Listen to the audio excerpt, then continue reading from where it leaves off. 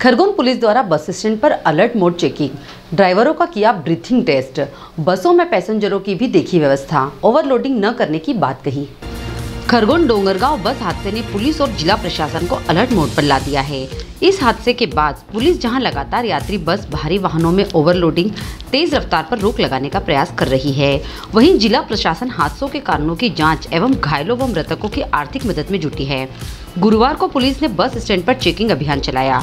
SDOP Rakesh Gupta ने बताया कि सड़क हादसों को रोकने के लिए यातायात एवं थाना पुलिस द्वारा शराब पीकर वाहन चलाने वालों के खिलाफ अभियान चलाया जा रहा है, जिसमें नशेड़ी वाहन चालकों पर कार्रवाई की जा रही है। दुर्घटनाओं में बहुत बड़ा कारण शराब पीकर वाहन चलाना है।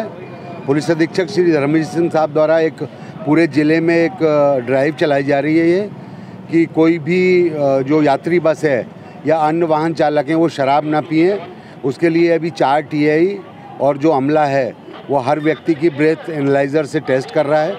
यदि वो पॉजिटिव आता है तो ब्लड सैंपल लेके फिर सख्त कार्रवाई करेंगे, उनके खिलाफ़ भी करेंगे और उनके मोटर मालिक के खिलाफ़ भी करेंगे कि वो ऐसे लोगों को क्यों परमिट करते हैं जो शराब पीकर गाड़ी चलाते हैं। डिजियाना न्यूज़ डिमांड रिपोर्ट, खरगोन। बाढ़ की पल पल की खबरों से अपडेट रहने के लिए हमारा चैनल डिजियाना न्यूज़ निमाड़ को सब्सक्राइब ज़रूर करें।